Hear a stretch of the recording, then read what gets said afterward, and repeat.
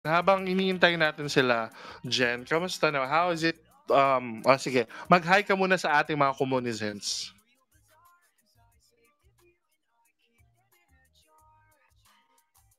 Hi mga communizens, it's been a while, so I'm happy to be back and to be here. Thank you po sa pag-invite.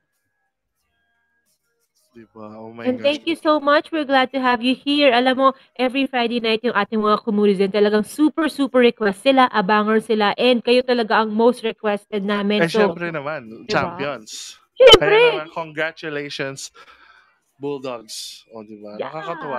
Nakakatuwa talaga kasi we get to also um parang share that ano excitement with everyone kasi syempre nakapa kaka-champion lang nila and then we are here together pag-uusapan natin yung feeling kasi for sure nung on the spot ay may thank you nagbabagsak so much. si Yawi Yawi. ay hindi mo hindi ata kilala ni partner say kung sino yung Sino ba nagbagsak si Yawi? i-ask mo na lang yung communizens natin Komunizen, sino si Yawi? Thank you so much sa pakamu- ka- Communiverse mo, Yawi. ang tanong para kanino ba ang communiverse na yon Hindi ata para sa atin, partner. Oo, ano yan eh. For sure, ano. Kasi ano yan, pero isa yan Boyfriend ni ML. Jen. Ha? ML player. Yes, oo. ML. ML. Mobile Legends. Okay, the game on the phone. Yes, oo. Okay, okay. si See? partner. Oo, age reveal ka dyan ah.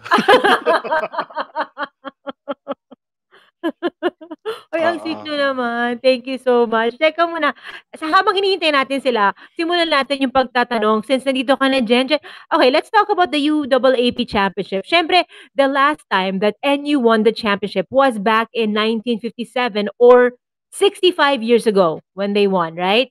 So, hunger ba? Hunger to win ba yung naging motivation nyo?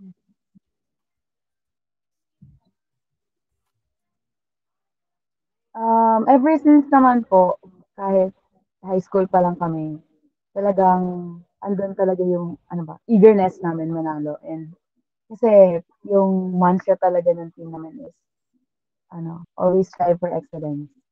So since um nung high school kami, parang hindi din kami nag hindi, hindi pa nag-champion yung NU nun. Parang even sila Ate Jaja, line up sila.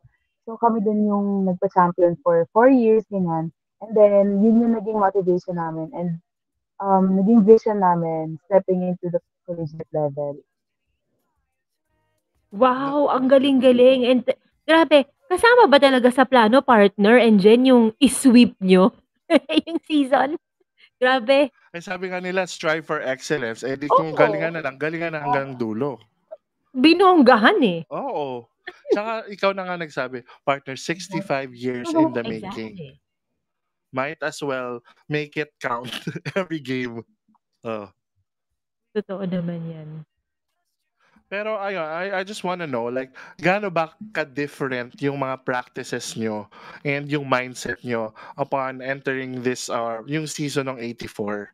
Ano ba yung, ano ba yung na-instill sa mind nyo na, na sinasabi lagi ng coach ninyo?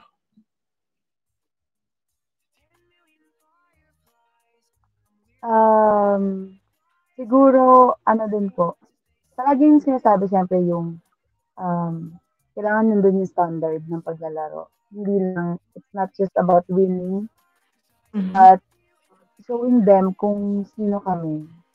Kasi, um, training pa lang po, makikita mo na sa mga teammates ko na yung eagerness, willingness to learn, and the enjoyment, which is very important. Kasi syempre, nakakapagod yung training.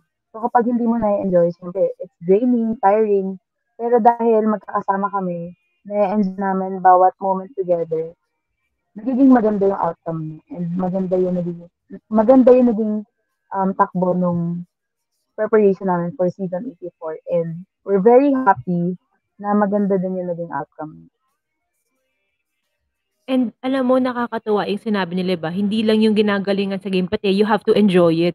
Kasi 'di ba, mas lalo mong gagalingan if you're enjoying something that you're doing. Yes, oo. So that's that's one of the most important things. Pero ako I have a question, Jen. As players, how do you girls motivate each other? O yan.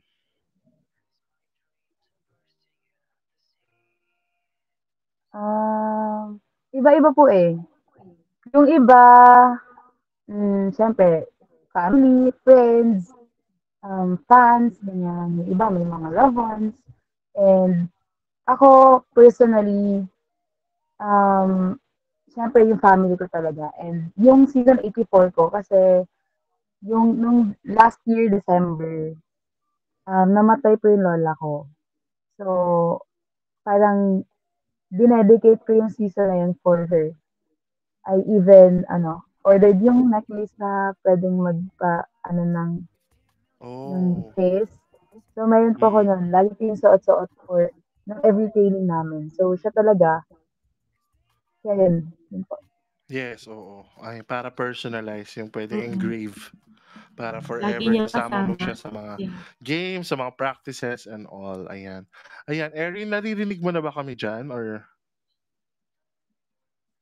Ayan, parang... Ah, baka sumunod na lang siya, Oo. maya-maya. Parang Yes, mahina oo. po ata yung internet sa doon. Oo, pero para tuloy ano si si Jen ay beauty queen ngayon. Answer siya answer ng mga questions.